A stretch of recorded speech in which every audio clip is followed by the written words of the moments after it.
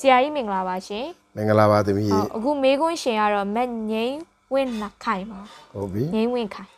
အသက်က30ပါဆရာကြီးဟုတ်ပြီဟဲဟိုးမှနေပါတယ်ဟဲ့ဟုတ်ဟုတ်ပြီဟုတ်နို့တိုက်မိခင်တယောက်ပါတဲ့ဤတဲ့ဒီသားဟုတ်ပြီဟုတ်ကလေးကအသက်၄လပါတဲ့လေလအရွယ်ဟုတ်ပြီ၄လအရွယ်ပါသူရေးထားတာလေးကတော့ဆရာကြီးရှင်တဲ့ကလေးမွေးထားတာ၄လရှိပါပြီတဲ့နှုတ်အမက်ဆုံးအချိန်ပဲဟုတ်ခလေးကနှုတ်ကလွယ်လို့အ မေကလည်းနှုတ်တက်ကောင်းတယ်ခလေးတိုက်တိုက်နေတယ်ဆိုရင်ကြံတဲ့အစာကျွေးလည်းမကျွေးသင့်သေးဘူးနှုတ်မဲ့တယ်ဟုတ်ချို့ဆိုရင်အမေကအလိုလိုက်တယ်ဒီဘက်ကနှုတ်သီးလေးကျိန်းလာဟိုဘက်ပြောင်းတိုက်တယ်အဲ့လိုမတိုက်ရဘူးအစာတစ်ခုနဲ့တစ်ခုကိုလူကြီးတွေဆိုရင်တော့၄နာရီခြားစားတာပေါ့နော်လူကြီးတွေဆိုရင်မနေ့၈နာရီမှာမနေ့စောစောစားစားတယ်ဆိုရင်12နာရီမှနေ့လည်စာစားတယ်နေ့လည်စာ12နာရီမှစားရင် ညနေစာကို4နာရီနဲ့4နာရီကျော်မှစားရတယ်ဒါပေမဲ့ကလေးကျတော့2နာရီပေါ့2နာရီတစ်ခါလောက်တိုက်ပါလို့အဲ့လိုပြောချင်တယ်ဟုတ်တိုက်တဲ့အခါမှာတော့ကလေးကိုဝအောင်တိုက်ပါခဏခဏကလေးနိုးဆိုတိုင်းနိုးဒီကိုကလေးပတ်သက်ထည့်ထားရဲ့အဲ့ကလေး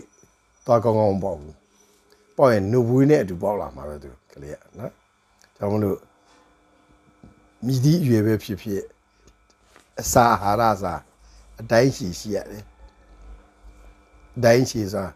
အချိန်ကာလရဲ့အတိုင်းရှိအစာအတော့ရဲ့ပမာဏရဲ့အတိုင်းရှိနော်အဲ့လိုအတိုင်းရှိတည်တည်လေးနဲ့လို့ရင်ကလေးပဲဖြစ်လူကြီးပဲဖြစ်ဖြစ်ကျမ်းမာမှာပါလို့ပြောချင်ပါနော်သူဆက်ရေးထားတာတော့ဘာလို့မူးနေမှန်းမသိမူးနေပါတယ်တဲ့စေကံပြတော့တဲ့သွေးညှိစေးပေးပါတယ်တဲ့တွေ့သွေးညှိစေးဟုတ်ပြီသွေးပေါင်ချိန်ကတော့တဲ့130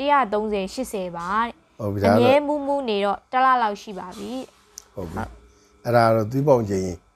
130 80ဆိုတော့သွေးသွေးတူးတယ်လို့တော့သိပြောလို့မရဘူးတချို့အဲ့လောက်ရှိကြကြတယ်လေဟုတ်တိုးတယ်လို့ပြောရင်လည်းနည်းနည်းလေးပဲတိုးတာပါဟုတ်မူးတဲ့အခြားအကြောင်းတစ်ခုကတော့အများအားဖြင့်ဒီဂုတ်မှာအယိုးအတက်ပေါက်တာကြည်ပါအယိုးကြည်ပေါင်းလို့လည်းဒီခေါ်လိုတယ်ကြည်ပါနော် spondylosis ဆိုလည်းပြောတယ်အဲ့ဒီဂုတ်မှာအယိုးကြည်ပေါင်းရှိရင်မူးနေတတ်ပါတယ်ဟုတ် သူကအနေအနေထားတစ်ခုပြောင်းနေတယ်မူးတာပဲအောက်ကိုပစ္စည်းကုန်းကောက်ပြီးဆိုရင်လည်းအဲ့ဒါမလဲမူးသွားပြီဝဲလှည့်ပြီးတော့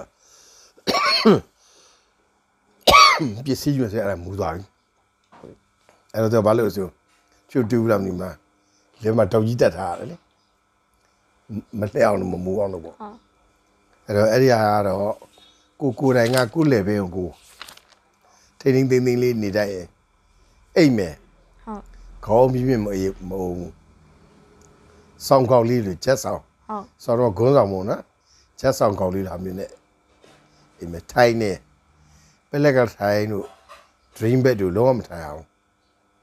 ရိုးရိုးကထိုင်မှာပဲခါကိုမမတ်ထားပြီးတော့ထိုင်မယ်ဟုတ်နော်လမ်းလျှောက်မယ်လမ်းလျှောက်မယ်ရိုးရိုးကြီးမလျှောက်ရဘူးနော်ခါကိုမှတ်ပြီးတော့ ၆မြောက်လျှောက်ရမယ်အဲ့ဒါအကောင်းဆုံးပါဖြစ်နိုင်ရင်ရေကူးဖို့အကြောင်းညီညွတ်ရင်ရေကူးကန်တို့လိုချောင်းတို့ဘာလို့နီးတဲ့ဒီသာရေကူးပါနော်မရှိဘူးဆိုရင်အားမငယ်ပါနဲ့တံပါလေးဆွဲပါအဲ့ဒါဆိုရင်ကိုလုံလောက်ပါတယ်လို့ကျေးဇူးတင်ပါတယ်ဆရာကြီးရှင်အားလုံးအစာဝအနာကင်းဘုရားရှင်ကြပါစေဗျာ